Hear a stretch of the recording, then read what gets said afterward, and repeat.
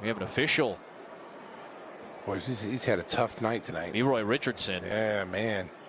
A 26 year veteran in the NBA. Did he roll his ankle? I think so.